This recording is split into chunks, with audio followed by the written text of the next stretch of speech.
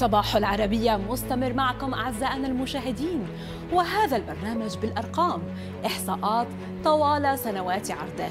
نحو 18 عاما مرت على عرض الحلقة الأولى من برنامج صباح العربية والذي بدأ في تاريخ التاسع من يوليو لعام 2005 أكثر من أربعة آلاف حلقة قدمها مذيعو صباح العربية على الهواء مباشرة والتي احتوت على عشرات الآلاف من المواضيع المتنوعة. ما يزيد عن 24 ألف ضيف.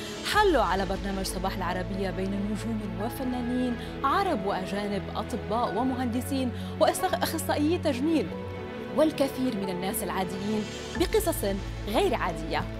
وما يزيد عن 250 مقطع من صباح العربية حقق أكثر من مليون مشاهدة على مواقع التواصل الخاصة بشبكة العربية وبرنامج صباح العربية.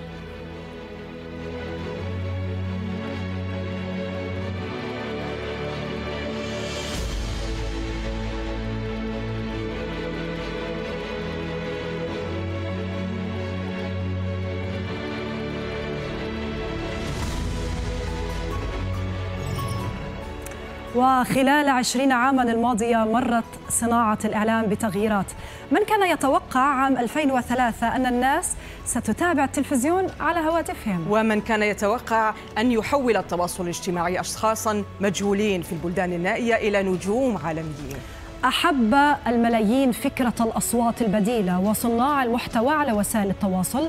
أصبح هناك برامج يتابعها الملايين ووجودها رقمي فقط.